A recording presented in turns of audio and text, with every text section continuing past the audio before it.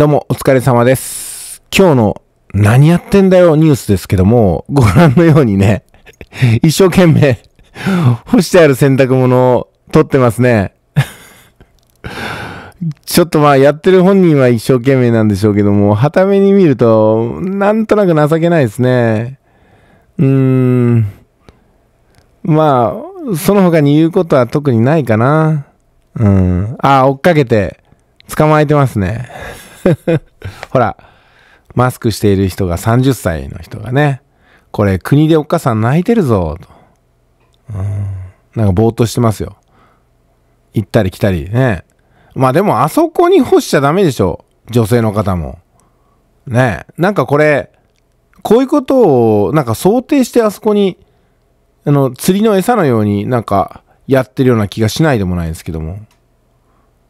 まあでもね、洗濯物を干す自由ありますから、そこはダメでしょうということではないんですけども、なんとなくここはね、うん、なんか盗まれそうなところに干してるなって気がしますね。あ、かき分けないと見えない状態にしていた。で逆に、そういう風にしてるから、あ隠してるものがあるなっていう風に目立つんじゃないかなっていうのね。うん。まあでもちょっと情けないですね、これね。何やってんだよ。3回来て14枚盗まれてます。被害額も結構なものじゃないかなと。うん。不眠症の症状が出てしまった。だったらここに干すなよって気がしないでもないですけどもね。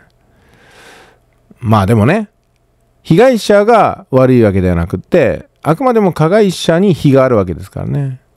何回もなんか出てきますね、この人ね。これまたあの、YouTuber とか Instagram が切り取って変な動画にするんじゃないですか、これ。まあ、顔を撮影しやすい位置。カメラを仕掛けるんだったら、なんかそれとセットで洗濯物を干すのはね、まさに、なんか、釣りをしている釣り師の、なんかこう、心理なのかなと思います。ねだって、繰り返し盗まれてるんだったら、なんかこう、干すのをやめるとかっていう風になるような気がしないでもないですけども、次も盗みそうだから、わざわざたくさん干しといて、カメラを仕掛けるっていうね。まあ、どうしても捕まえたかったんでしょうね、やっぱりね。うん、確かにね。うん。まあ、あの、被害を受けられた方に、まあ、罪はありません。はい、以上です。